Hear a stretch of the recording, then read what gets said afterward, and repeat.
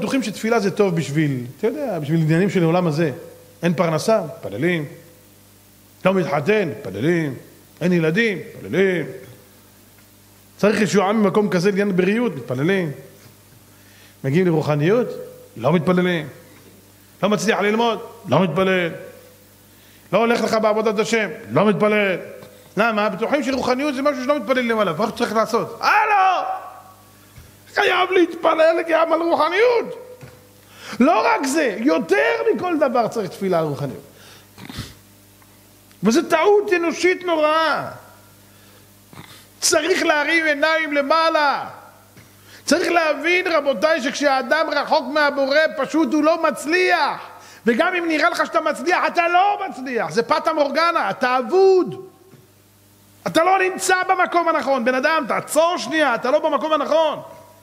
לא יכול להיות לאדם סייעתא דשמיא אם הוא לא מחובר לבורא, לא יכול להיות. וגם אם נראה לך שהצלחת, ימים יגידו שאתה תראה שהכל זה עור ופרח, לא נשאר לך כלום. רבותיי, דעו לכם, דבר שאין בו ברכת השם מתעשיר, זה נראה למראה עיניים, זה פטה מורגנה, ופתאום מגלים שזה ריק. זה דברים פשוטים. אתה לא מחובר לבורא. אתה לא צועק אליו, שיעזור לך ברוחה בגשמיות. תדע לך שהקדוש ברוך הוא כועס עליך. אתה יודע למה? תראה, כשלא היה לך כסף, ידעת לצעוק אליי. וכשאין לך רוחניות אתה לא צועק אליי, ואחרי זה אתה גם שר, אתה לא מתבייש. טוב לי תורת פיך מאלפי זהב. איך? אם טוב לך תורת פי מאלפי זהב, למה אתה מתפלל בשביל זה? די, זה בסדר, אני אסתדר כבר. אה, אה, אני בסוף אהיה צדיק גדול בעזרת השם. אני אהיה תלמיד חכם, נראה לי אני אעקוף את הרב עובדיה, פשוט מפחד, לא נעים לי לעקוף אותו, אז אני... תגיד לי, באיזה סרט אתה חי בדיוק? על מי אתה חושב שאתה עובד?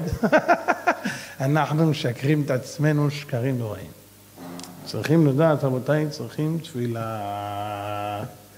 אם אדם לא מתפלל, הוא לא מגיע לשום מקום. תפילה, ברכות של צדיקים, הרבה הרבה אמונה, הרבה הרבה התחזקות, הרבה הרבה מאמץ, הרבה הרבה לדעת לוותר על הרצונות שלי מפני רצונותיו של הקדוש ברוך הוא, אפילו שזה רצונות רוחניים. אפילו שיש לי רצון רוחני. אבל אתה רואה שהשם לא מוביל אותך לשם.